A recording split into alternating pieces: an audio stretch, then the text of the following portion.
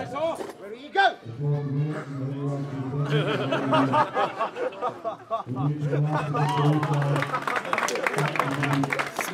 Sam is the winner.